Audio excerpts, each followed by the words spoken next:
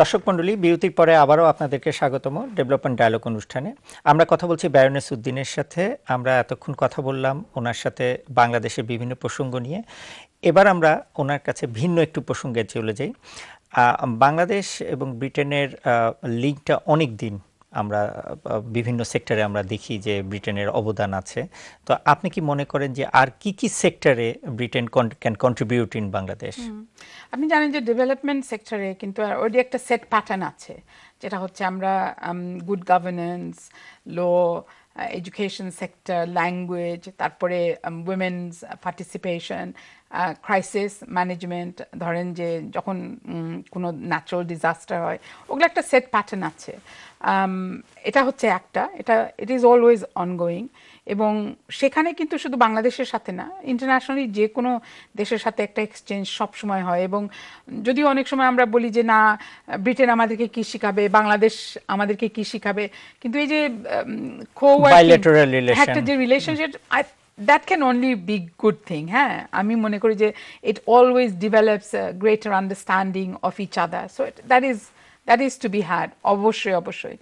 আমি মনে করি যে যেখানে হয়তো আমরা আরও স্ট্রেংথনিং করতে পারি এবং লেবার যখন মানে গভর্নেন্ট গভর্নেন্সে ছিল, তখন কিন্তু আমরা আমরা একটা কি করার চেষ্টা করছিলাম, যেটা হচ্ছে যে এখানে যারা আমরা বাংলাদেশবাসী তাদের সাথে একটা মানে একসাথে যুক্ত হয়ে, একসাথে কথা বলে কনসাল্ট করে যে কীরকমভাবে ডেভেলপমেন্ট করতে পারি। কারণ আমরা যে millions and millions and millions of pound দিচ্ছি, মনে করেন যে অনেক গ্রামে গ্রামে আমরা স্কুল করছি বা রাস্তা করছি বা ব্রিজ করছি, আমরা অনেক বছর আগে আমরা চেষ্টা করেছিলাম যে ইন্টারন্যাশনাল ডেভেলপমেন্ট অর্গানাইজেশনের মানে আমাদের ডিফিট তখন তাদের সাথে যুক্ত হয়ে আমরা একটা মানে মাস্টার প্ল্যানের বিষয় আগে বলেছি মাস্টার প্ল্যানের সাথে জড়িত হব। যার ফলে যে আমরা যদি একটা ব্রিজ করি, এটা একটা থাকবে ওদের সাথে, ওই প্ল্যান যাতে আমরা একটা ব্রিজ করছি না বাই আওয়ার হ্যাঁ এই ব্রিজ হচ্ছে বাংলাদেশের প্ল্যানে সো সিলেট হোক, বরিশাল হোক রাঙামাটি হোক ও ঢাকা হোক যেটাই হোক না কেন এটা থাকবে। কিন্তু যার জন্য আমি মনে করি যে বাংলাদেশের যে একটা সিস্টেম গভর্নেন্স সিস্টেম এটা উনাদেরকে আগে এটা আইডেন্টিফাই করতে হবে। সেটা হয়তো আমি মনে করি যে that is one of the ways এবং আমরা যখন তাহমেদ কাউন্সিলের আমি ডেপুটি লিডার ছিলাম তখন আমরা একটা ছোটোখাটোভাবে চেষ্টা করেছিলাম যে আমরা একজন অফিসারকে সিলেটে পাঠিয়েছিলাম। ওদেরকে শেখানোর জন্য কীভাবে আবর্জনা রিসাইকেল করে এবং কীভাবে এনভায়রনমেন্ট ক্লিন করে এই ধরনের একটা আমরা চেষ্টা করেছিলাম। তো এভাবে কিছু করা যায় আরেকটা জিনিস সেটা হচ্ছে যে সুশীল সমাজের জন্য লোকাল গভর্নমেন্ট স্ট্রেংথেনিং এর কোনো বিকল্প নেই। ওফ আর আমাদের কিন্তু এটা নিয়ে আমি বলব যে যে কোনো কমিউনিটির থেকে, বার মানে সাদা কমিউনিটির আমাদের কিন্তু প্রচুর অঢাল মানে শিক্ষা আছে এবং আমাদের এই কন্ট্রিবিউশনটা কিন্তু খুবই ভালো হতো এবং লোকাল গভর্নমেন্ট তো এখন আপনি জানেন বাংলাদেশে অনেক স্ট্রেংথেন হয়েছে, হচ্ছে। এবং সেখানে মেয়েদেরও পার্টিসিপেশন আছে। এবং হেলথ সেক্টর কমিউনিটি ক্লিনিক নানান ধরনের যেগুলো হচ্ছে, এগুলো এগুলোর মধ্যে যদি হতো, আপনি যদি ছোট্ট একটা ইয়ে করতেন পাইলট করতেন, সিলেট হোক, ঢাকা হোক, যেখানেই হোক, আমাদের অনেক পুরুষ, অনেক মেয়ে both as officers and councillor হিসাবে আমাদের অনেক অভিজ্ঞতা রয়েছে এক্সপিরিয়েন্স রয়েছে। আমরা কিন্তু এটা দিতে পারব। তো আই হোপ বাংলাদেশ সরকার কোনো একদিন যদি জেগে উঠে এগুলো অ্যাপ্রিসিয়েট করে। আমাদের বিদেশে যারা আমরা আছি, যদি এনআরবিকে নিয়ে অনেক কথা হয় ইন্ডিয়া যেরকম এনআরবিদেরকে অ্যাপ্রিসিয়েট করে বা ব্যবহার করে এনআরবিরা এমনকি পর্যন্ত গভর্নমেন্ট লেভেলে অ্যাডভাইজার হিসাবে চাকরি করছে। মানে পয়সার জন্য না but as as post because they have an contribution to make so অনেক কিছু আছে যেখানে আমরা যদি আমরা আমাদের ক্রাইসিস ম্যানেজমেন্ট সবসময় না করে যদি ব্যস্ত হতাম, তাইলে আমার মনে হয় যে লং টার্ম প্ল্যানিংয়ের নিয়ে অনেক কিছু করার আছে। আমার আমার, এটা একটা আমার আশা। এটা এটা হলে আসলেই আমাদের ভালো হতো এবং তার সাথে আরেকটা প্রশ্ন চলে আসে সেটা হচ্ছে যে আমরা দেখি যে ইনভেস্টমেন্ট সাধারণত ইউকে থেকে বাংলাদেশে বেশি হয় নর্মালি হ্যাঁ। এবং এক্সপোর্টও বেশি হয়। কিন্তু বাংলাদেশ থেকে এক্সপোর্ট এবং ব্যবসা খুব একটা এসব ইংল্যান্ডে আসে না। তো সেক্ষেত্রে আপনারা কি ধরনের চিন্তা করছেন?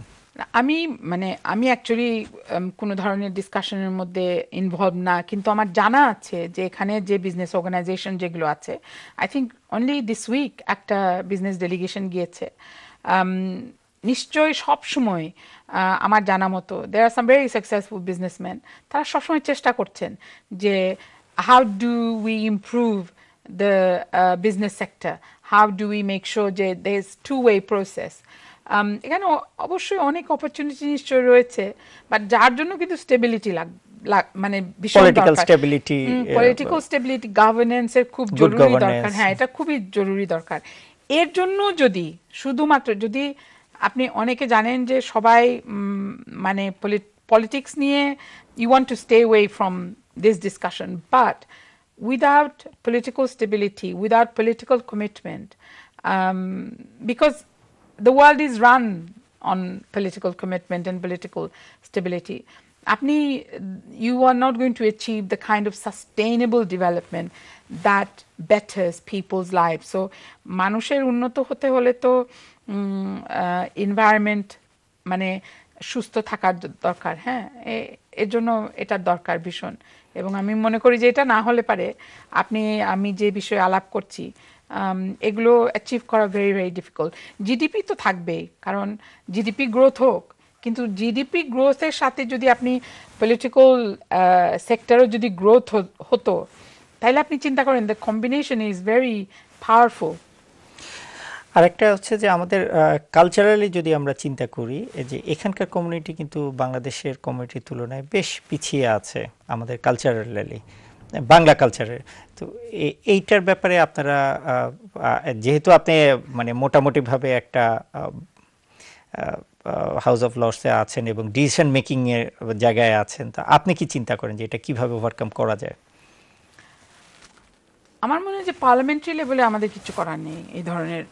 কারণ আপনি জানেন যে আপনি রিসেন্টলি শুনেছেন গত কয়েকদিনের মধ্যে আমাদের কারেন্ট প্রাইম মিনিস্টার এটা দে- দেশ বানিয়ে নিল। এক কথায় পাল্টে যায় না সব কিছু হ্যাঁ? তো আমি বলব এটা যে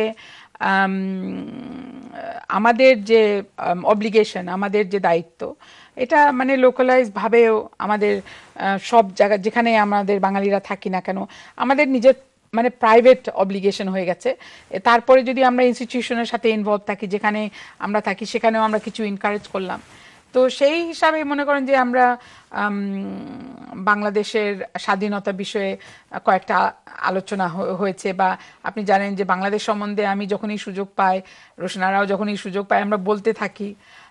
তো এই আমাদের যে এখন রাষ্ট্রদূত আছেন উনি হি হ্যাজ রিয়েলি ইমপ্রুভড আমাদের cultural diversity এবং um, he's really pushed the agenda and I really congratulate him. Uh, he's a remarkable contribution আমাদের এটা এনহান্স করার জন্য আমাদেরকে জাগ জাগ্রত করার জন্য এবং আমি শুনেছি যে even last week last Sunday they was a programme in on in মানে ব্রেডি সেন্টার ছিল ছিল উনি মানে এটা পার্টিসিপেট করেছেন এবং আমি মনে করি যে অন্যান্য দেশের তুলনায় আমরা আমাদের আম, সংস্কৃতি বলেন মিউজিক তারপরে আমাদের ভাষা, আমরা অনেকভাবে কিন্তু বাঁচিয়ে রাখার চেষ্টা করছি নাইনটিন এইটির থেকে, আমার জানা মতো হ্যাঁ?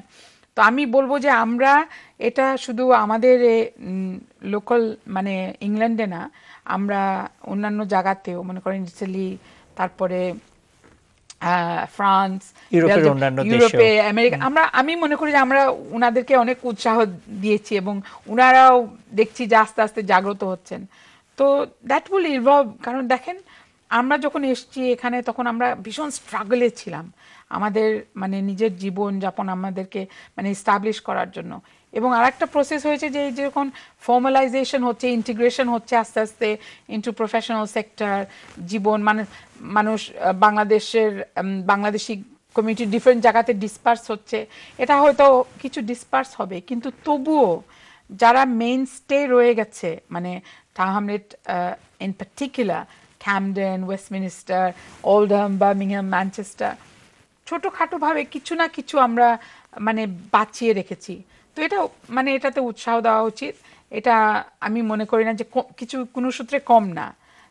এবং উই মাসেন্ট বি ডিসহার্টেন্ড আমরা we can build on that এটা আমরা বলতে পারি, এটার উপর থেকে আমরা আরও ছোটোখাটোভাবে বড় করি। আপনারা, আপনাদের অনেক ইয়ে আছে, সুযোগ আছে, আপনারা করবেন। আমাদের চ্যানেলগুলো, আমাদের নিউজ পেপারগুলো আপনাদের সবার অনেক অবদান আছে। তো আই ডোন্ট থিঙ্ক ইটস কোনো কিছু ছোট্ট আমরা কিছু করছি না। যখনই আমরা কিছু করি, আমরা ভালো ভালোভাবেই করি। সম্প্রতি আমরা যেটা দেখছি যে ইসলামিক ফান্ডামেন্টালিস্টদের বেশ একটু আগ্রাসী মনোভাব এখানে, যেটা লং মার্চ করছে তারা আরও অন্য কিছু করছে যেটা। তো সে ব্যাপারে আপনারা নীতি নির্ধারকরা কি চিন্তা করছেন?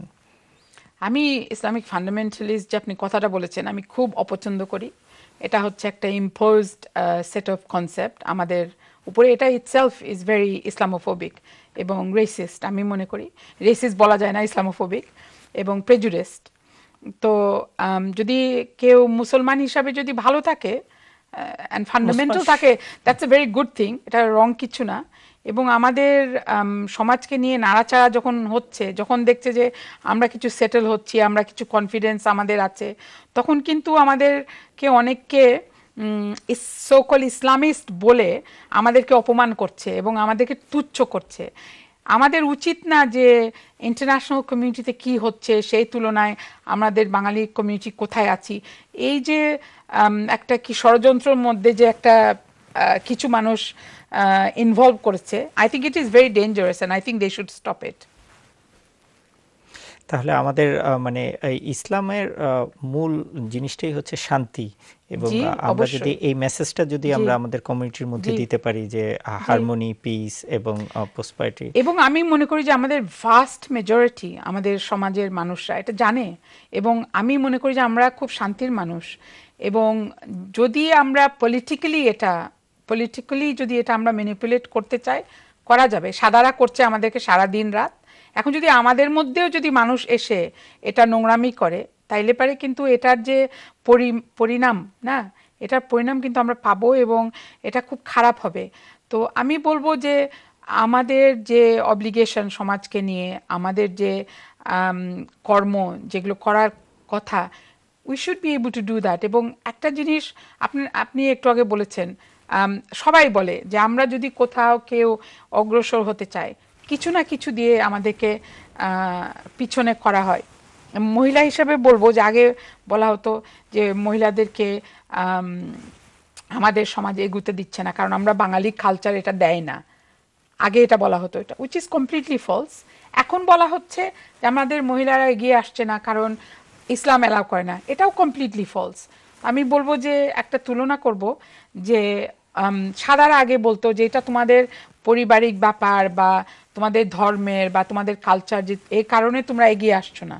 কিন্তু আসলে এটা না, আমরাও যদি সেম জিনিস আমরা রিপিট করি আমাদের উপরে, এটা কিন্তু টর্চার হয়ে যায় এবং এটা উচিত না এবং we should be very careful আমরা যখন কলুট করছি by suggesting that Islamic fundamentalism so call which is an outrageous concept হ্যাঁ? মানে ইটস অ্যান ইনসাল্ট আমি মনে করি to good Muslims and people who are Muslims practising Muslims তাদের উপরে যে এই একটা মানে বর্ণনা দেওয়া হয়, এটা it is very very dangerous and it is an insult আমি বিশ্বাস করি। এবং ইটস এ কলিউশন এই কলিউশনের মধ্যে যদি আমরা জড়িত হই, আমাদের ভবিষ্যতে, ভবিষ্যতের জন্য এটা খারাপ আছে। What we should do is we should calm things down যে যদি সেখানে আমরা দেখি যে কিছু জিনিস রং হচ্ছে, যেখানে অনেক ছেলেমেয়েরা সরি অনেক ছেলেরা whatever sense of injustice প্যালেস্টাইনে দেখছে সিরিয়াতে দেখছে, চলে গেছে পাকিস্তানি অনেক পরিচিত আমার ফ্যামিলি আছে যারা, তাদের ছেলেরা গেছে ফাইটিং করতে। আমার আমিও শুনেছি, আমাদেরও কয়েকজন গেছে ফাইটিং করতে। এটা কিন্তু এটার এটা যদি হয়ে থাকে এটা এটার মানে আমাদের এটা। খারাপ। হ্যাঁ, এটা কিন্তু এটা it is not a reflection on on the community it's a reflection on that হ্যাঁ, পারসন আমরা আসলে মানে অনুষ্ঠানের একদম শেষ দিকে চলে এসেছি। আসলে আরও অনেক কথা আপনার সাথে বলার ছিল এবং যাই হোক আজকে হয়তো সময় স্বল্পতার জন্য বলতে পারলাম না। তো আপনি আপনার ভবিষ্যতে আপনাকে কীভাবে দেখতে পারেন চান আপনি আরও দশ বছর বা বিশ বছর পরে? এটা তো বলা অসম্ভব আপনি জানবেন। আর দ্যাটস ভেরি ডিফিকাল্ট আসলে। এই প্রেডিকশন আমি করব না। আমি মনে করি যে আহ, সেবাই আপনি হ্যাঁ, বাকি আমি আমার নিজের কথা যদি বলেন তাইলে হ্যাঁ অবশ্যই। অবশ্যই এইভাবেই হ্যাঁ, আমি আমার মানে জীবন শুরু করেছি আমি আশা করি আপনার আপনার দোয়া করবেন যাতে আমি এইভাবেই আমি আমার জীবন কাটিয়ে দিতে পারি।